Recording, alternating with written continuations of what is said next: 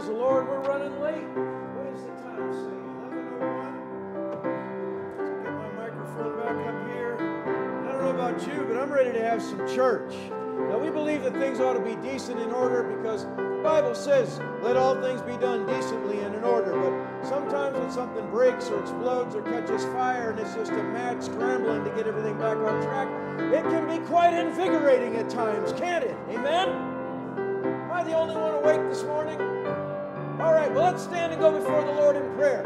Father, in the name of Jesus, we come before you today. We come here with an intention in our heart, Father, to connect with you, to seek your face, and to worship you in spirit and in truth. Father, we need you.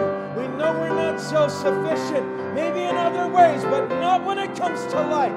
We need you to live. We need you for life in us. We need you for righteousness, for salvation, for a new start in life, Father. We need you for everything. And we seek you today to meet our needs, Father, to receive our thanks and our praise, our worship from the deepest part of our hearts, Father. Let your will be done in this house, in this service today. Let it be done in every one of us, in our lives, in our minds and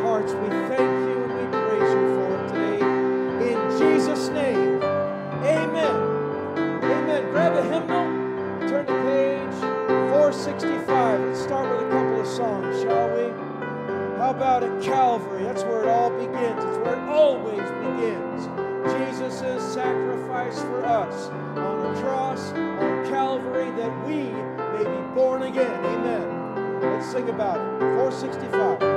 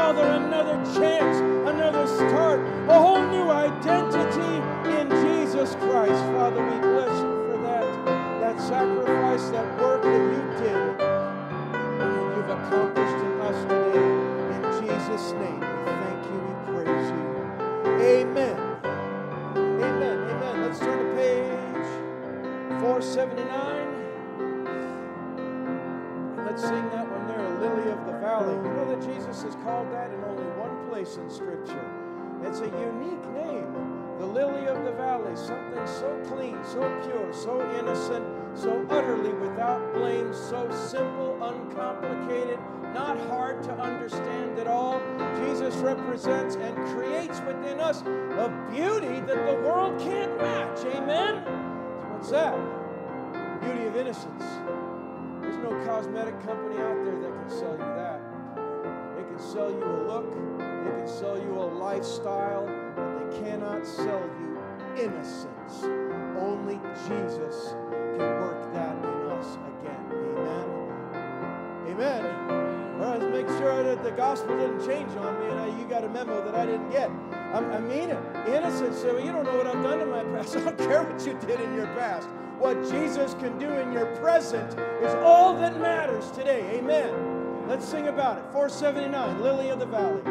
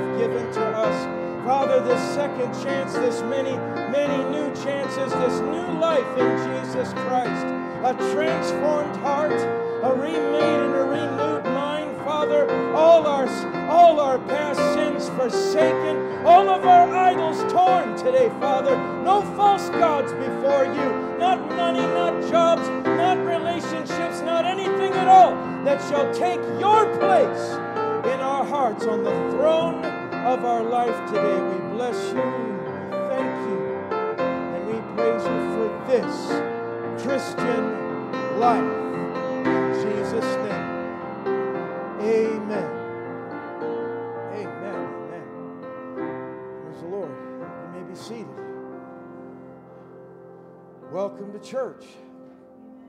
And for those that have been traveling and have made it back safely, alive, and in one piece to Cheyenne, welcome back.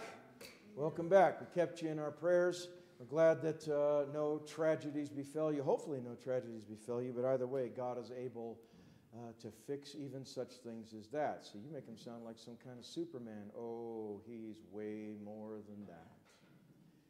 He does far more, can do, and does, and accomplishes things that not even that silly little comic book character could accomplish. Amen. So lot, the world has a lot of problems, but they all stem from one unsolvable problem, unsolvable where the world is concerned. But Jesus comes in on the scene and it changes everything. What do you mean by that? Well, just to skip ahead a little bit, not that we're preaching out of the Revelation today, but it's something he says right near the end of the book. And a lot of people love to quote it. Sometimes we forget it. He says, I stand at the door and knock. That is Jesus right there. Of course, it's not at the front door, that'd be booming and we'd all hear it. He's talking about at the door of everyone's heart. It needs to believe on Him. It needs His saving, His transformative work in our lives. Jesus is still calling to people. Jesus is still standing at the door of people's hearts, knocking, seeking entrance, seeking, seeking us to willingly let Him in, people to willingly let Him in, so that He can save them. Amen. And change them and give them an entirely new life in Him. We'll talk a little bit about that out of a whole other book of the Bible here by and by. But welcome to our church. If this is your first time here, don't be a stranger. Don't be. We're here for a reason. This isn't a social club. This isn't something that just, this is not just a Sunday morning thing that we come to, hang out for a while, shake hands, speak religious words to one another, and then all go back out and live the same old wretched lives. Jesus saved us, amen? And He's changed us. We're different now. We're new now. The old man is dead. The new man is alive in Jesus Christ. And so come be a part of this fellowship. So we'll, I don't want to open, I don't want to go down too many rabbit trails, but welcome welcome. We do things a little old fashioned here. Doesn't mean we're against new innovations, just means that we value what we have that's good, no matter how old fashioned it is. So at this time, though, let's go ahead and receive the Sunday morning offering and tithe. If our ushers would come, Brother Roy, Brother Valencia. We know that all Christians tithe and give in offerings. That's how the ministry is supported. Now, don't worry, we don't send a bill collector your way. We trust that you got enough God that you do the right thing. And God blesses and loves a cheerful Amen. giver. Amen. So, what if I don't have any cash on me or a check or something like that? On those little envelopes back there at the guest book stand, uh, they have a little QR code on them. You just take one of your fancy smartphone thingies that everybody seems to worship nowadays, just joking, and just scan that thing. It'll take you right to our website. We have online giving. If you'd rather do that, you can. It's entirely up to you. Brother, would you please pray?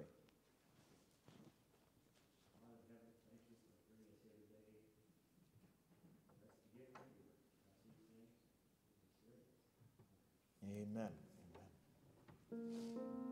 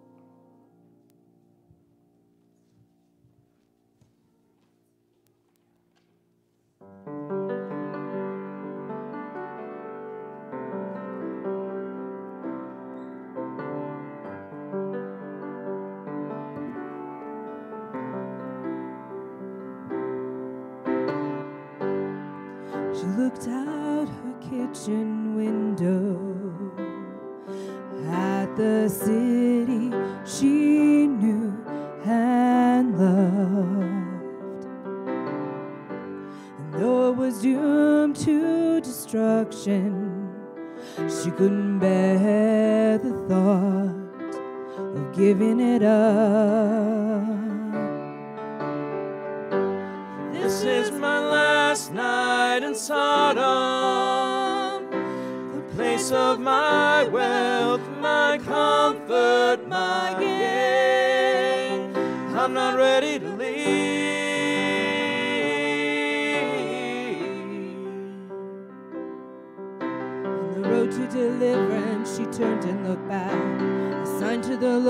Of the faith that she lacked. The fire of his judgment could not be held back. It was her last night.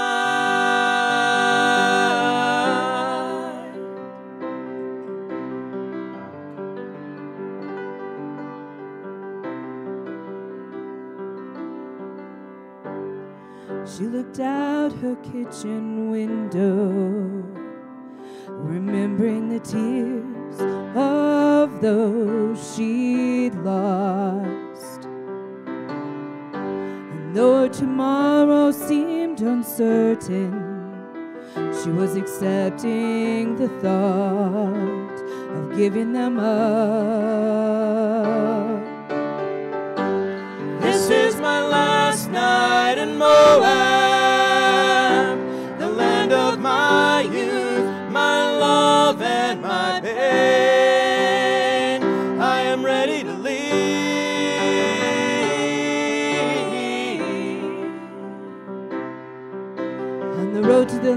of the promise she vowed, committing herself to the true God she found, blessing and honor in heaven lay down. It was her last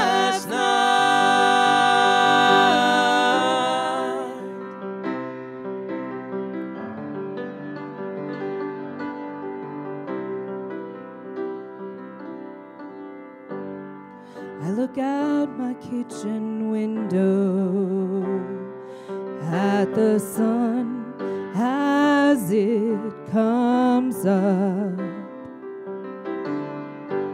wondering if this is the last day before we'll be caught up. Oh, oh, oh, oh. oh. Is this my last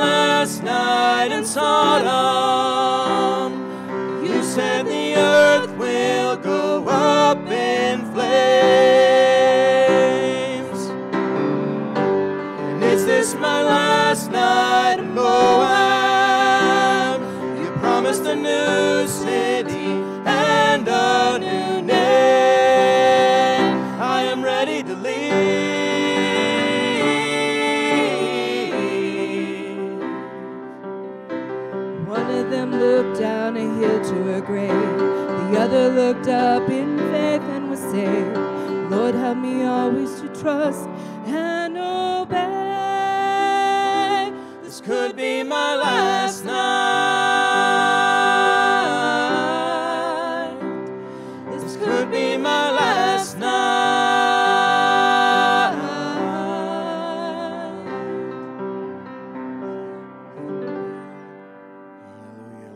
hands once more and worship together. Father, we thank you for the time that you have given us, this life you have given us, especially this life in you, your grace, your mercy, Father, all of it.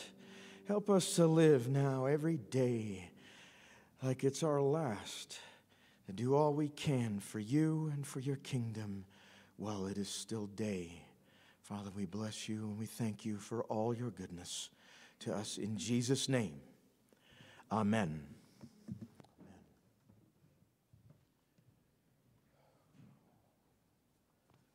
Praise the Lord. Amen. I want to read to you from the prophet Yoel this morning. Did not mark my place, so it's a race. Let's see who gets there first. Yoel, Yoel, Yoel. I'm nowhere near it. That's what happens when you have tech problems. It uh, puts you in a rush. And what's that? You got it? All right, you win. I don't know what you win, but you win something. Thing is, I need to read a fairly substantial portion of that. Come on, minor prophets, minor prophets. Book of Yoel. There we are. Chapter 2. And I want to begin in verse 21. Yoel chapter 2, verse 21. Fear not, O land. This is a prophecy going forth by the mouth of the prophet Joel. Fear not, O land. Be glad and rejoice, for the Lord will do great things. Be not afraid, ye beasts of the field, for the pastures of the wilderness do spring, for the tree beareth her fruit, the fig tree and the vine do yield their strength. Be glad then, ye children of Zion, and rejoice in the Lord your God, for he hath given you the former rain moderately, and he will cause to come down for you the rain, the former rain and the latter rain in the first months. Why is that a big deal? Well, when you live in an agrarian society where everyone's life ultimately depends on the earth putting some food out there for us, amen? So I'm a cattle rancher. I don't have to worry about that. Yeah, your cow's got to eat something, right? So it all kind of works together. We're not in competition, it's cooperation. He says, Be glad, ye children of Zion. He talks about the rain, the former and the latter rain in the first month. And the floors shall be full of wheat, and the vats shall overflow with wine and oil. And I will restore to you the years that the locust hath eaten the cankerworm and the caterpillar and the palmer worm, my great army which I sent among you. And ye shall eat in plenty and be satisfied, and praise the name of the Lord your God that hath dealt wondrously with you, and my people shall never be ashamed. Let me read one more verse. And ye shall know that I am in the midst of Israel, and that I am the Lord your God, and none else. And my people shall never be ashamed. And focusing on part of verse 25 this morning, I want to take and use that for our text. And I will restore the years to you. I will restore to you the years that the locust hath eaten. Let us pray. I want to ask Brother Brother Bill, sir, would you please pray for the message this morning, the messenger, all of us that are here. Heavenly Father, we thank you once again for this time that we can be here with you. Father, we just ask you would speak through our pastor what it is that you would want us to hear today, Lord. And Father, that we would have receptive ears and that we would apply it in our heart, Lord, that we could serve you better, walk closer to you. Father, we just ask that you bless each and every one that's here. And we pray in Jesus' name. Amen. And I will restore to you the years that the locust hath eaten. We're revisiting this scripture right now out of one of the more obscure prophets, I suppose.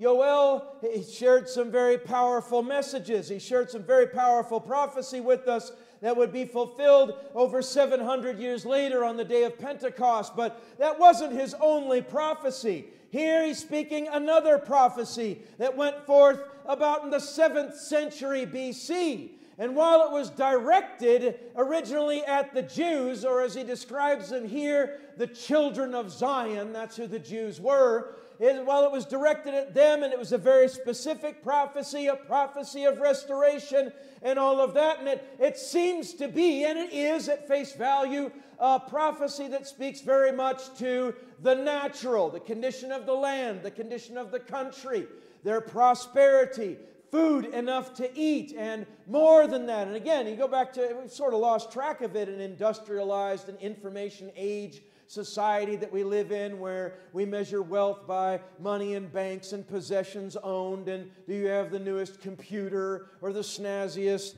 glass god that people carry around in their pockets with them and all that other junk?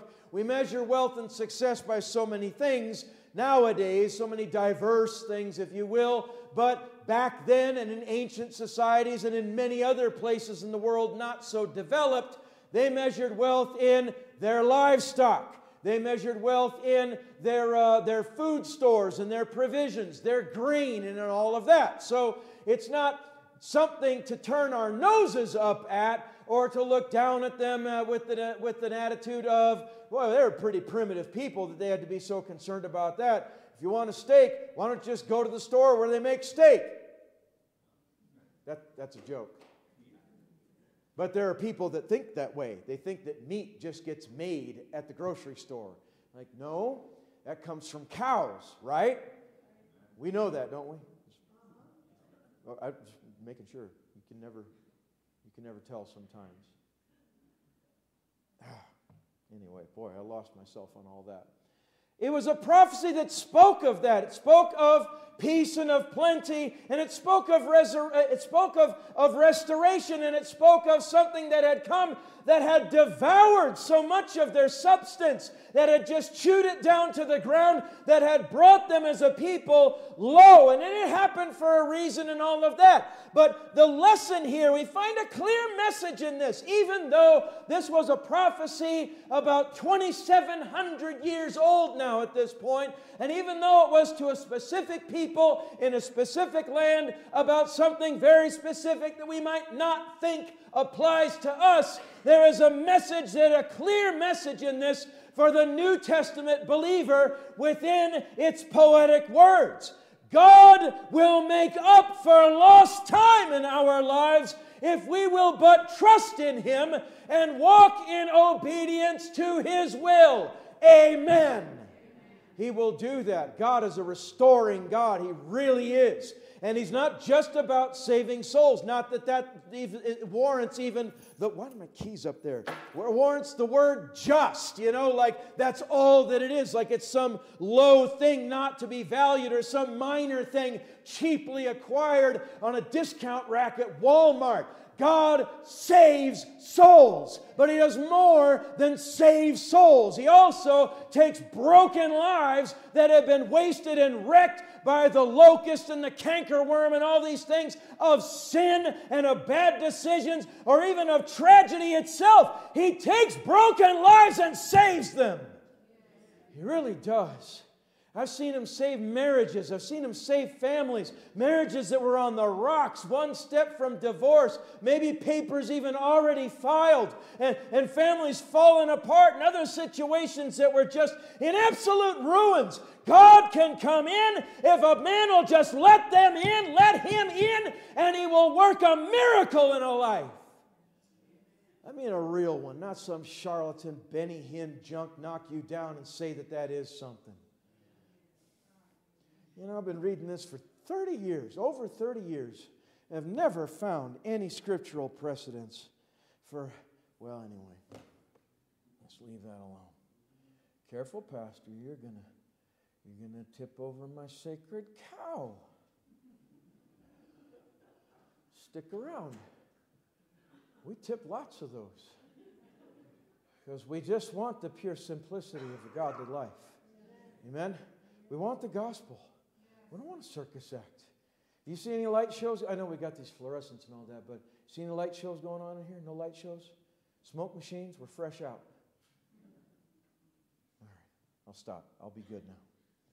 God will make up for lost time. Here he speaks of devouring pests in our Bible reading. And again, to city folk, a lot of times that doesn't, that doesn't really hit real hard. I mean, we kind of understand what he's saying about locusts and cankerworms and stuff like that. We understand on an intellectual level, oh, yeah, it's a bad thing. That can kind of mess some things up, right? But, you know, unless you've ever actually experienced the loss of an entire crop from a, a, swarm of locusts that have come in and devoured that thing to the ground and left nothing but stubble, then it doesn't really hit you right in the feels or in the heart or in the personal experience. Now, maybe if you've gardened, you've had something like that happen and you can appreciate it a bit more. He speaks of the locust, the cankerworm, the caterpillar, and the palmer worm. I had to look some of these up a while back to, to see what the difference was between, like, well, what's a cankerworm? I know what a caterpillar is. We used to squish them when I was little.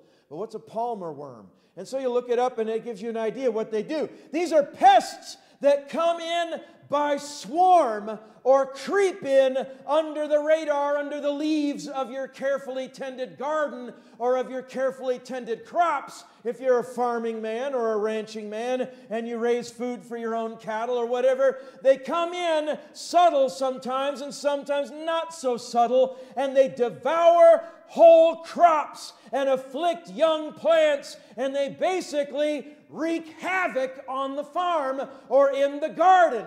They destroy, they devour, and they give nothing back. They take and return absolutely nothing. They take your labor and wipe it off the face of the earth and leave you and I hungry, starving, barren, destitute, and in a serious crisis.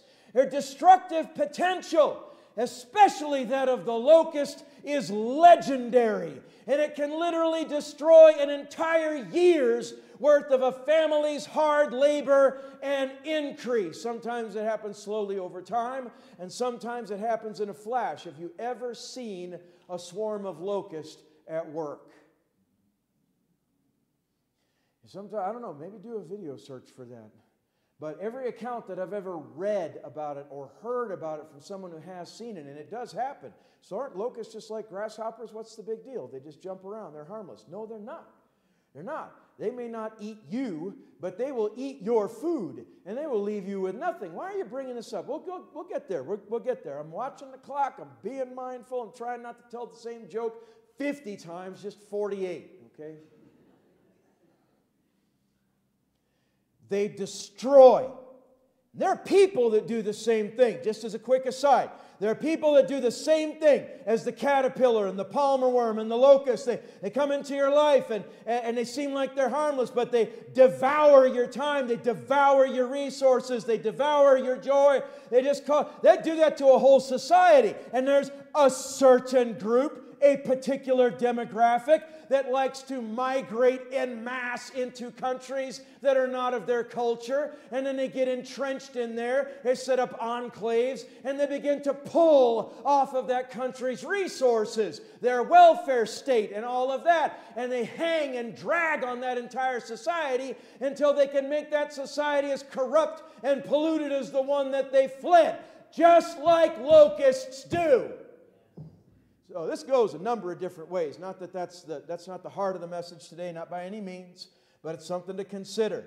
So are the afflictions of life sometimes. So are the sins that the born again believer used to live in before they were born again. With the sins that we once lived in, the bad decisions that we may sometimes make, which carries a price to be paid. And Paul even talks about that. So, well, I'm a, I'm a Christian. I never sin anymore. You better not. But uh, we know that that's probably not too likely that you can say, I've never sinned one time since the hour I first believed. Now, don't worry, I'm not trying to give anybody an excuse or throw a wet blanket on the service. This is a message about hope and about restoration uh, on a level that a lot of people give up on long before they ever give God a chance to really work in their lives. Paul, the apostle, speaks of the quote unquote, the sins that so easily beset us. If we give in to them, if we invite the problem, we give in to them, we invite the problems and the consequences that come with them into our lives to devour our spiritual increase and sometimes even our physical increase. And one of the very first things that almost always comes to mind when I think about this bad decisions that carry consequences. We see it exercised in, popul- in society at large all over the place, especially, well, I don't want to get into the demographics of it all, what kinds of cities and all of that, but it's, it's become very, very common. You say, well, I just want to sleep around. I don't want to be responsible. I just want to get, just want to jump in the sack with somebody. I just want to live in fornication, preacher. Okay, fine, but someone's going to deal with the consequences for 18 years.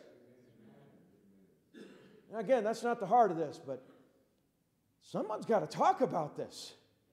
That somebody's really, we can't be afraid to just pull that out and la- label that for what it is. Well, that's okay, I'll just get an abortion. Really? Really? Just march on down to the clinic and sacrifice your child to a murderer in a lab coat. Yeah, we still take a hardline stance on that too. No, I don't go picket outside of abortion clinics. I typically find that's a waste of time. If people get saved, they won't get an abortion. Amen? I'd rather go around with the gospel of Jesus Christ and say, hey, there's hope, there's, there's forgiveness, there's a new chance, there's a second chance, there's a fifth chance, there's however, whatever. There, there, there's, a, there's, there's hope for your present day and for your future. There's a new start that you can have. Excuse me, I don't know where this drainage is coming from. Maybe from this psycho weather we've been having.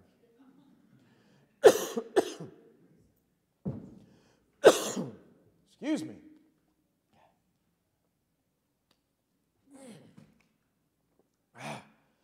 What have we had? Like six winters this year? I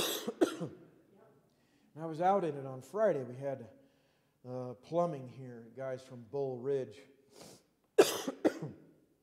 trying to uh,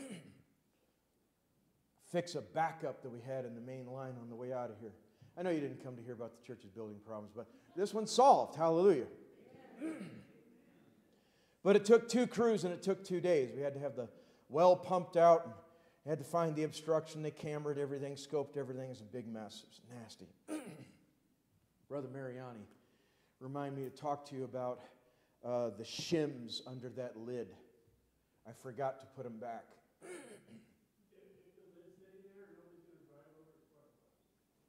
Not worried about it then. It's all good. So, bear with me a moment, please. I apologize. Everything cleared out. Can I talk now? Okay, thank you. The Apostle Paul speaks of these things, and that's just one of the low hanging fruits, one of the many examples. And it's not something that believers do, and it's not something that anybody should do, so I'm not a believer. Well, you need to be, and either way, sin is sin, and it doesn't matter if it has a clinical mask on it or not. We need to do things right. Someone's going to pay a price for the wrong things that we do. Most of the time, it's us. Sometimes it's someone who shouldn't have to pay the price for the wrong thing that we do. But God offers hope even in the midst of all of us. Uh, in the midst of all of it, if we give in to these things, we invite the problems and the consequences. And those things will come in like locusts, they will come in like cankerworms, and they will devour our lives from the inside out and leave us empty and bereft and hollow and bitter. That's what they'll do. That's what these problems will do. If we invite them in, they will cause these problems. Look at the life. Look at the life of the sinner and of the unbeliever. And you know me, you know that I don't say that with a high mind, I don't say that with pride, I don't say that with a superiority complex. We were all born sinners, and we had to be saved. We needed Jesus Christ in our lives, or we'd still be just as lost as we ever were. But when you look at the life of the unbeliever, of the one that remains in sin, especially with those without good judgment or those without any self restraint, their troubles beset them on every single side eventually, don't they? Talk to some of these folks. I invite you, now I'm very careful how I say this. I'm very careful how I say this. Homeless people are real people, and they're, they're just as much human beings as you and me. But go walk up to a homeless person sometime, strike up a conversation with one of them if they'll have a conversation with you and ask them questions. Don't judge them, don't accuse them, but just have a conversation with them and ask them uh, if, if it's safe to, uh, or if they're willing to answer. Ask them how they came to that state in their life. Was it just misfortune? Was it just a bad roll of the dice, so to speak? Or was it the cumulative effects of a lifetime or of several years of wrong decisions that just made things worse and worse and worse and worse in their lives? And it just invites it all in, doesn't it? Now the same thing works the other way, but but this is something to consider, especially if you're on if you're on the threshold this morning. I don't know if anybody here is, but God knows, and I think I'm already getting a witness. But if you're, if you're on the threshold of making one of those, uh, one of those jumping off the cliff types of decisions about your life and just hoping that something's going to be there to catch you, something like, well, I'll just walk out on my family. I'll just abandon my marriage. I'll just quit my job and I'll just, you know what, I'm just going to start walking uh, in, some, in some direction of the compass and I'm not going to stop until I feel like I've got a good reason to. You need to be careful what you decide to do because those decisions stack. And you make enough of the wrong ones. So I'll just hit rock bottom and then I'll look up to God. Uh, no, there is no rock bottom. That's a bottomless pit. Bad decisions are a bottomless pit. As, as one person said, brother, you know this. There's always, not because he's done it, but he knows the same source of this as me. There's always something stupid that a person can do that'll make things even worse than they already are. It's true. But then, the, but then the opposite is true also. You say, well, my life is very bad right now. I got, I got problems you don't know about. Some of them are medical, most of them are money, some of them are relational, some of them are, uh, you know, things aren't even right between me and God right now, a person might say. And I just don't see anything going good at all right now. Okay, well then, why not start making good decisions right now. And, and, it might not seem like it has a huge effect on your life, but it'll start getting things going in the right direction. And the first right decision that any one of us can make is to do what God wants us to do. In any particular situation, if you're a sinner, this is your chance to get saved this morning. Amen.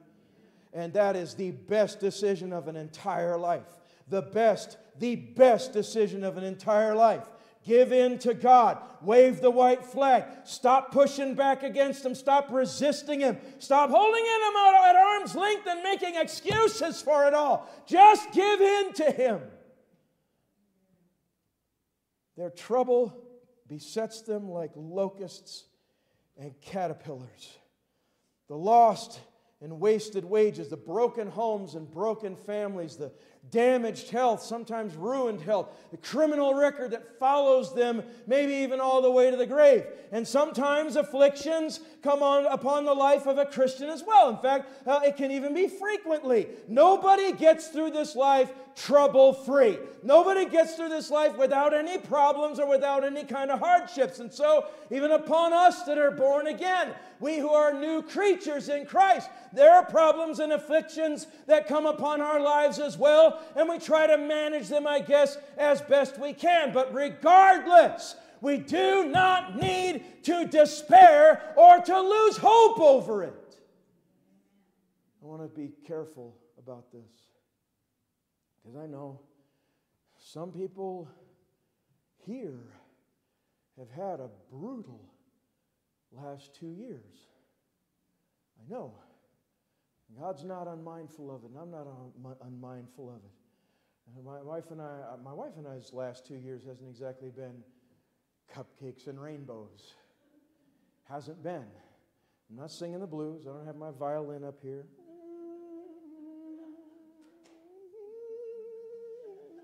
I can't play a violin to save my life. I make tortured cat sounds with it. That's about it. We have hard times sometimes. I know. And God knows. But He doesn't just talk about these devouring pests, He gives us a promise. God can do for you and I, God can do for anyone what he, what he promised the land of Israel at the mouth by the mouth of Joel here, or Joel. He gives us a promise. He said, I will restore to you the years. Oh, and that's curious language there. Notice he doesn't say, I'll restore to you the crops or the gardens or the things that were destroyed in that prairie fire. I'll restore to you uh, the wages that were lost when your identity was stolen or when your bank account was hacked and they took all your money and the FDIC, whatever, they decided not to actually help you out, or even if they're worth anything. I don't even know if they're worth anything or not. I've never had to test that. He didn't say he would restore the things that were lost. He said, I will, do, I will restore to you the years now, there's meaning in that. That is not something to just blow past and say, well, that just sounds nice and poetic. Like you said, poetic verses, but they're not mere poetry. They weren't even written as poetry, they were written as prophecy. There are things that we can lose in this life that we really just cannot get back. And that's something not, not to be uh, resented. That's not something to be bitter about. It's not something to spend your life mourning about that loved one that passed away. Why live in mourning for the rest of your life for that? I'm not trying to kick people's shins. I'm really not trying to kick people's shins. I'm trying to open people's eyes to, all right, your son died. That's a tragedy. It's worse than a parent dying. Okay, that's worse than that. I can't imagine if my daughter met a premature death. I'm supposed to kick the bucket before she kicks the bucket. And really, the trumpet's just supposed to sound and so we can all get out of here together. Amen. That's really what we want to happen, but we don't really have any control over that. And so, so, so your son died, or that spouse died, or, or left, or, or, or, or there, was, so there was a genuine tragedy there in your life. But, and I'm not talking to anybody in particular today. I'm saying that we cannot live our lives constantly mourning for lost loved ones. The crop's devoured or reaped. You can't change that.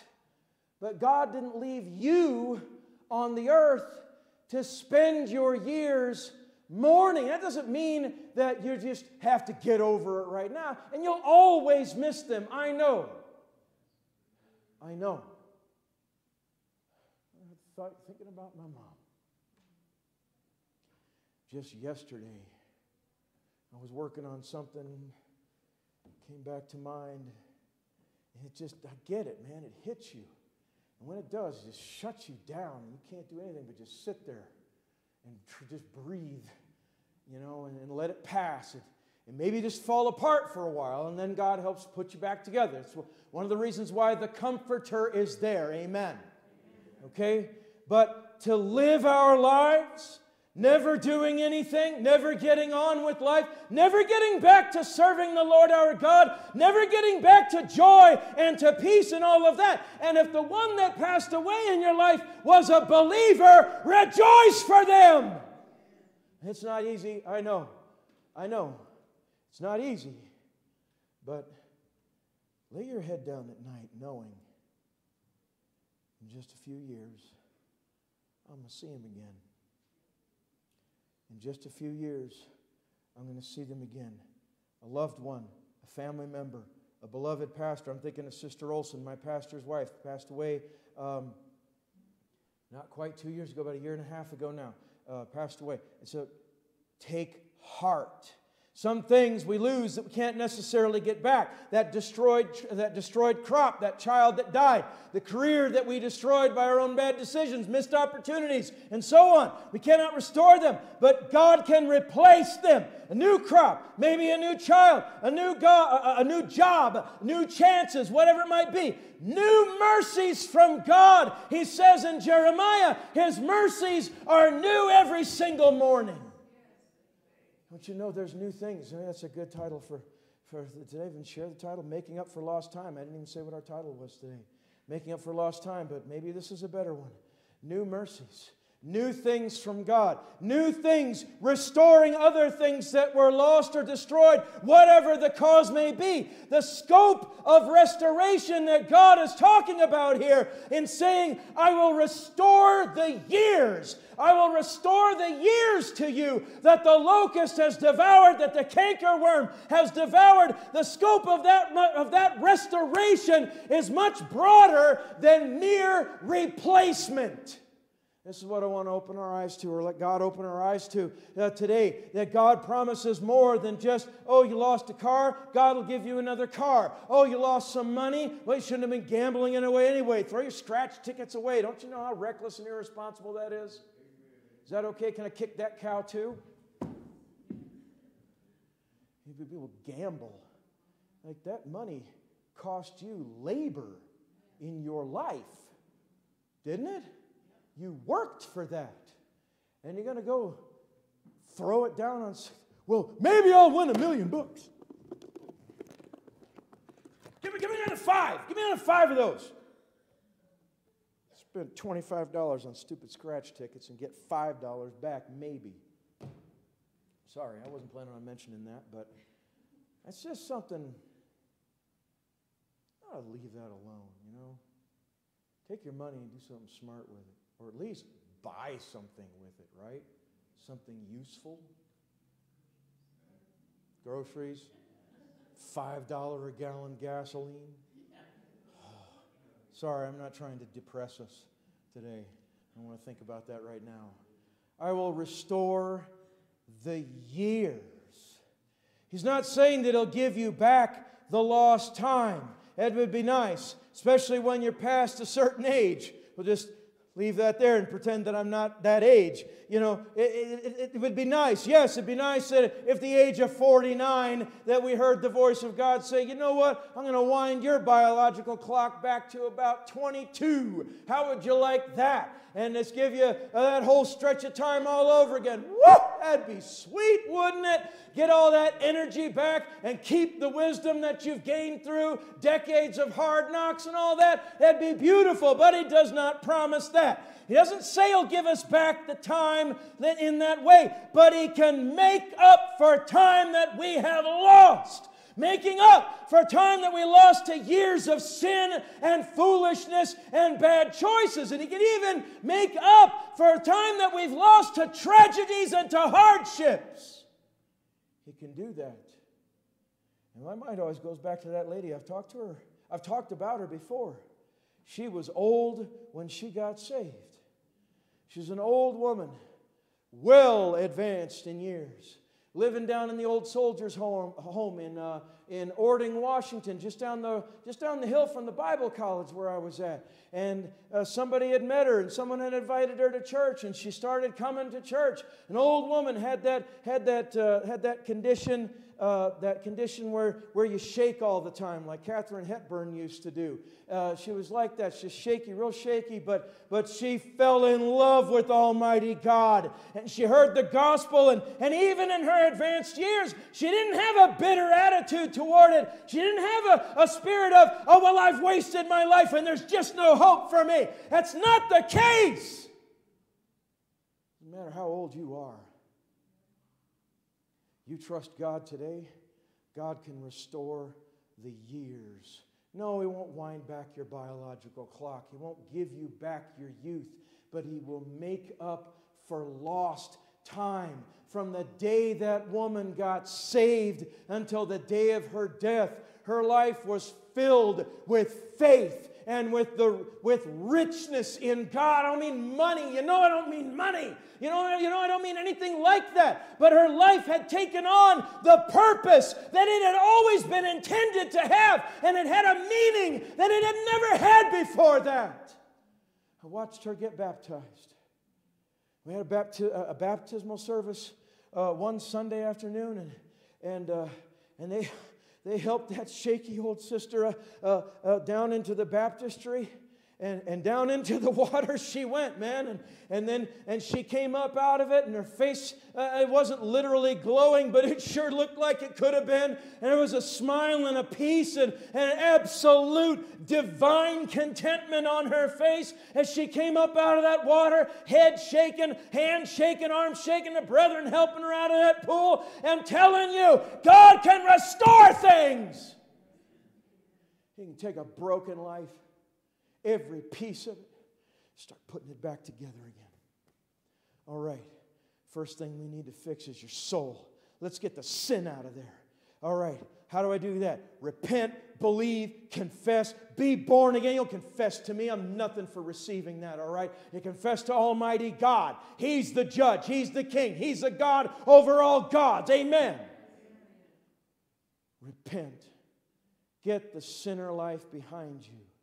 That's a decision, a surrender, and a prayer. That's what that is. And that's the very first thing that he fixes. Because unless that's fixed, then nothing else really matters in the eternal sense, right? Jesus said, What, what, it, what difference does it make? If, what does it profit a man if, if he gains the entire world and loses his own soul? You got millions? Bully for you. Sorry, a little bit of British slang there. Don't ask me why that popped in there. It's worthless when you die it's going to go to somebody else. Right? There you go. Fix the sin problem first. If there's a sin problem there. Say, well, but I believe in Jesus. Okay. But are you living in sin? I'm going to make a distinction between these things here. So I believe. I, I know who Jesus is. Oh, oh, great. So do the devils. Right? You got to get the sin problem fixed.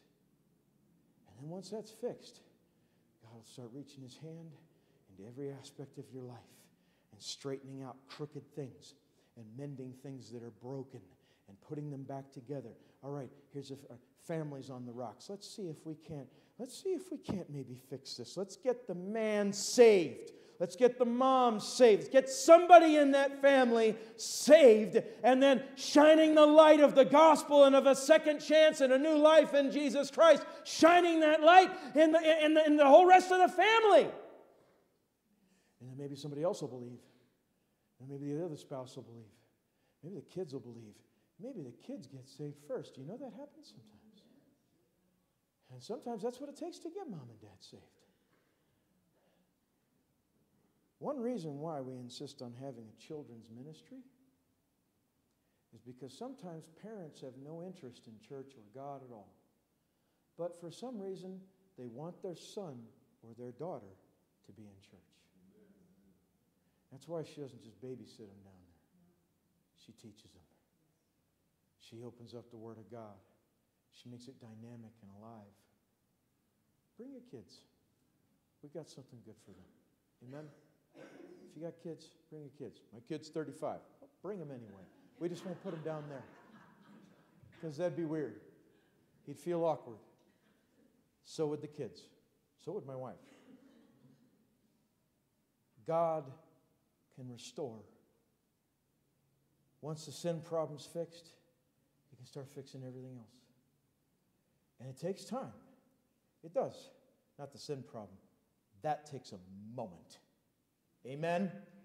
We don't work on getting saved. We let God save us. We seek God to be our salvation. Amen. That's a decision, that's a commitment, that's the change of a moment.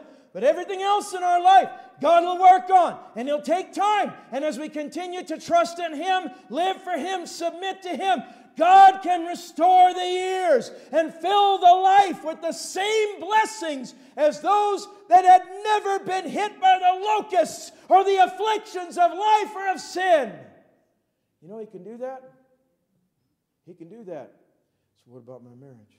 I've been married four times before I came to Jesus. All right, well, why don't you forget about all those past marriages? Amen they're broken and gone in history anyway. Again, I, I know I, I preach a lot about this. I've preached a lot about this over the years, but it's something that needs to be heard and reinforced because even Christians can fall back into this old trap of living in the mistakes of the past and letting that bog us down, mire us down, and then we don't want to live for God anymore. We don't think we can live for God anymore. We don't think there's any grace left for us. We don't think there's, there's any chances, but God can fix it. He can wipe it all off the board. He can give a new start. He can start a new life in us for those that'll trust in Him, and He can make it worth it. He really can. He can make it so that what you've endured hasn't been for nothing. It isn't suffering without cause. It doesn't have to be just pointless suffering, meaningless suffering. It doesn't have to be like that at all. He can make it so that it's worth it. He can restore the richness and the joy and the peace so that no matter how old or young you might be, what you have, what time you have on the earth can be better than the whole past of your life. It really can be. Going back to that sister, hers was. Hers was. I think her name, I think her name was Lena. She went to conferences, old and infirm, shaky as could be. She still went to conferences, our church conferences. She flew, as before mask mandates and all that other stuff. I think that's finally expired. I don't know how this whole thing with the World Health Organization panned out. I haven't looked into it. I've been kind of trying to ignore it so we can get the ceiling in there painted, the plumbing fixed, and other things that we need to work on. But I don't know. Maybe they'll try to push all that back into place. But God is still in control. Amen. Amen. He can restore the years, the richness, the joy. How? He speaks of provision and plenty. And get my piano player up here in a moment. We're going to pray here shortly.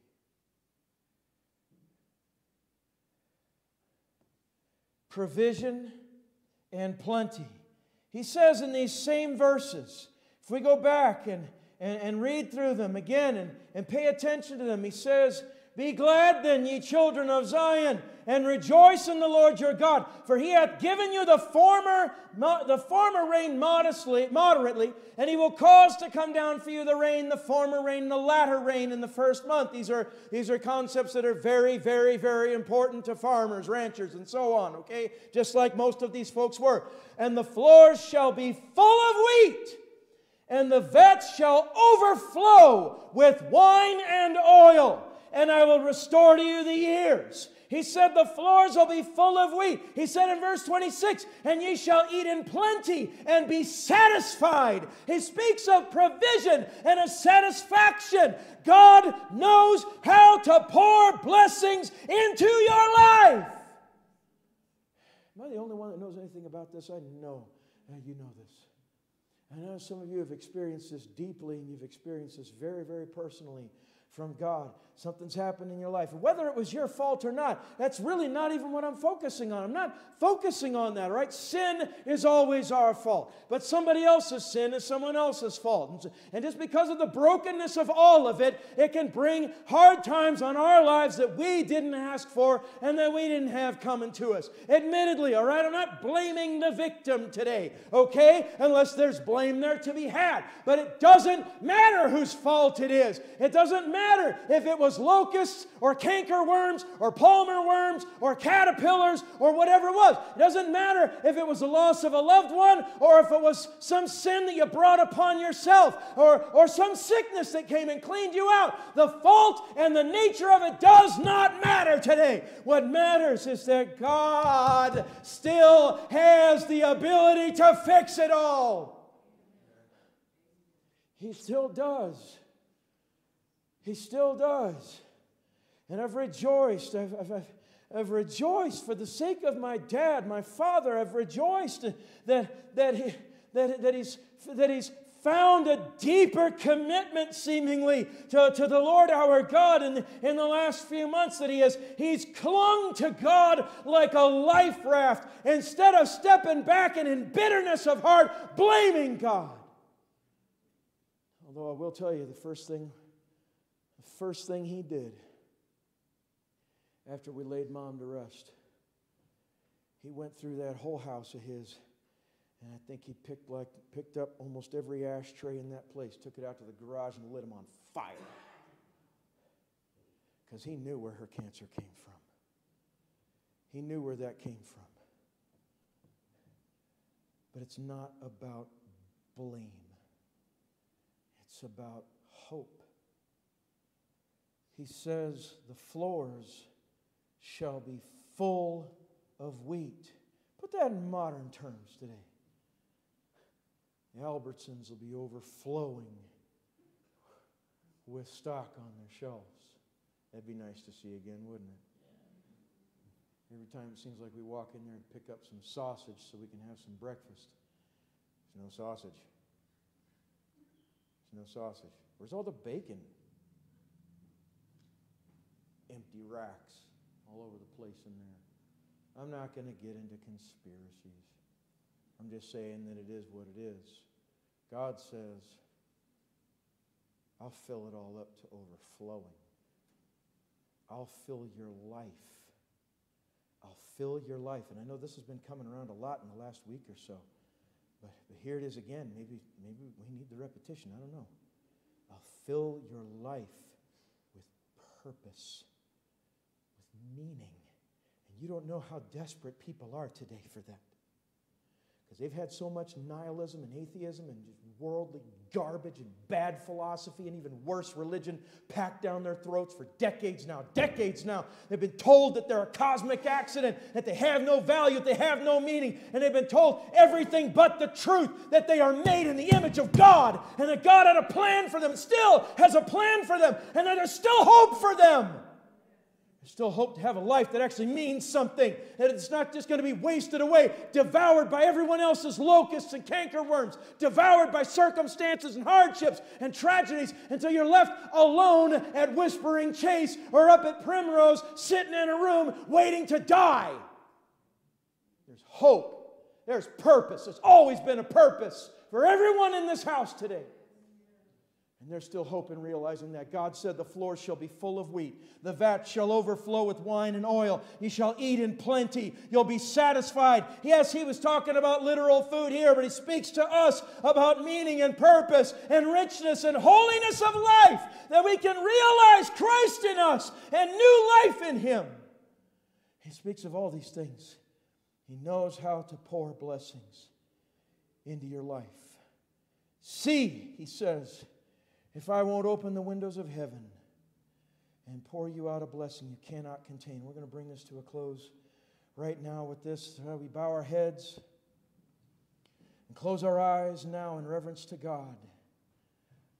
What's the message? Take heart. Be neither afraid or nor dismayed. No matter your past or how much of it? God can restore the years if you'll trust Him and if you'll walk faithful to Him and in obedience to Him. If you'll have a hunger for Him and for His Word and for His Spirit. If you want God in your life, that's what it boils down to. God can restore the years. What losses have you suffered? They're real, I know. They're not fake. And they're not light, they're not small. Over the years, from, from time and chance, or in days gone by, or maybe even in the present day, from sins or from things gone wrong. Uh, what losses have you suffered? You don't have to despair over it. There's still hope. It's more than just hope. God is still great restorer of souls and lives today. He's a restorer of marriages, He's a restorer of families, He's a restorer of friendships, He's a restorer of these things where we let the Spirit of God move in our life and, and, and lead us and guide us. God can make up for those losses if we will trust Him and walk in faith and uprightness before Him. How about it today? The choice is always ours. Live in the bitterness of crops devoured to the ground, or look to God in hope and watch Him move His hand in your life and start setting things right again, restoring, filling with hope and blessing and righteousness and peace. Again, brothers and sisters, visitors, all these altars are open. Let's come and let's find a place to pray right now. God bless you as our prayer. Let's come and find a place to pray.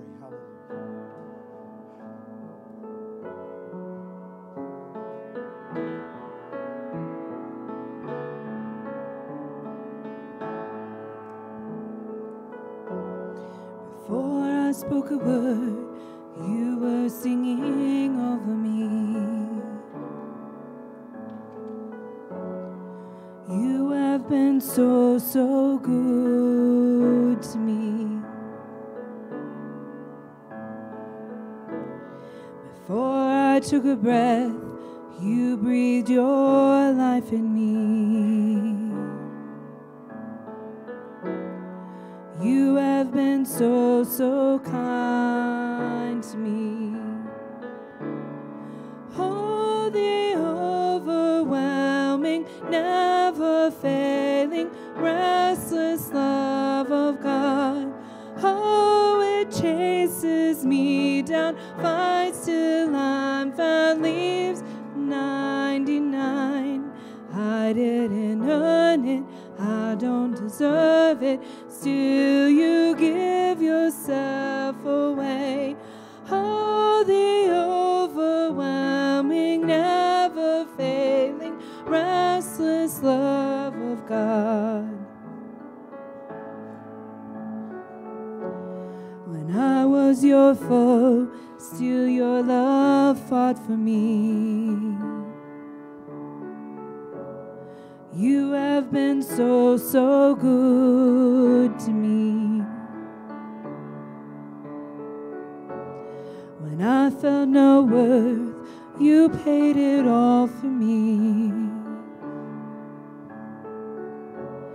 You have been so, so kind to me.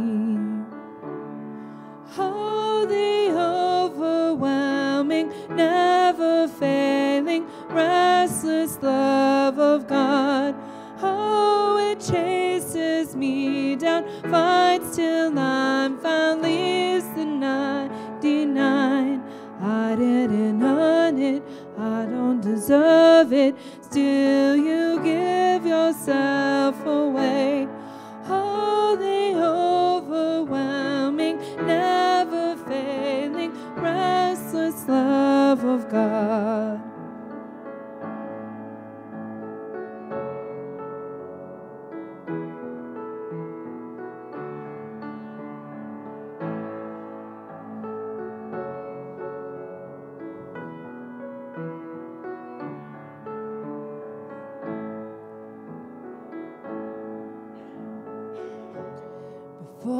Spoke a word, you were singing over me.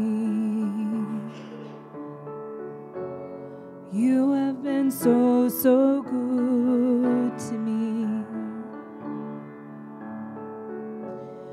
Before I took a breath,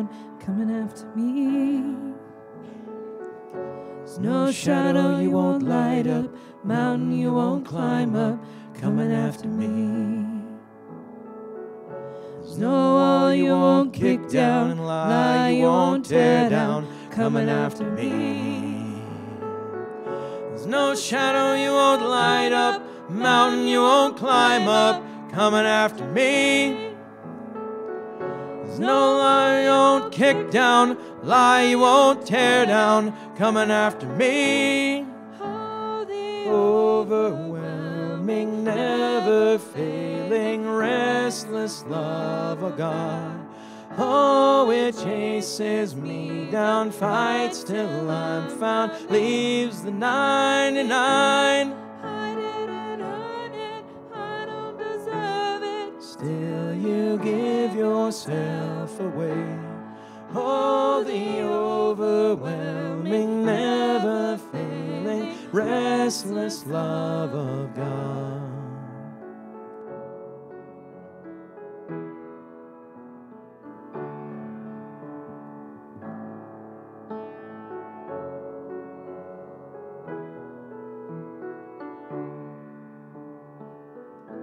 Be glad then, ye children of Zion, and rejoice the Lord your God. For he hath given you the former rain moderately. and He will cause to come down for you the rain, the former rain, and the latter rain in the first month. And the floor shall be full of wheat, and the vats shall overflow with wine and oil, and I will restore to you the years that the locust hath eaten, the cankerworm and the caterpillar and the palmer worm, my great army which I sent among you. God will even turn back judgment that He sent on a person's life. If that person repents, or that person trusts, if that person turns their heart again to Almighty God, And even God, even the things which God allowed to bring them low, He'll fix, He'll restore. God doesn't just wreck a person and leave them they turn their heart to Him, God will put it all back together again. Fix things, restore things, give life new meaning all over again. Set things on the right track. It's been good to be here this morning. Church tonight at 6:30. I think I got the message for this evening. I was working on it last night, actually. So come on back, get a fresh blessing again. Come on now.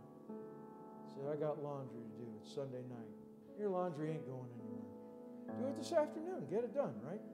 And walk away from it at about 6 o'clock. Come join us for 6.30 service. Go back. I promise you it'll still be there waiting for you. It will not abandon you.